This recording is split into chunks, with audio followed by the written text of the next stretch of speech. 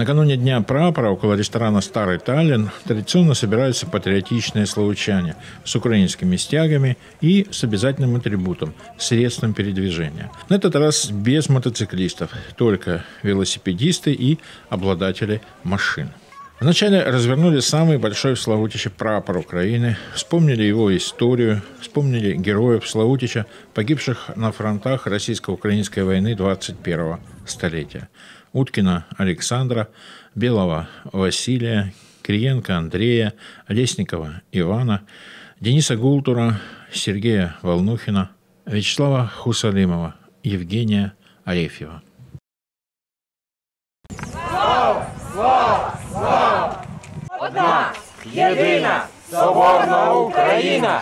Одна, єдина, соборна Україна! Традиционно хором спели гимны, и очень символично в этот момент под растянутым флагом Украины радостно бегали юные славучане. Хорошо бы так всегда. Под красивым украинским флагом всегда радовались дети.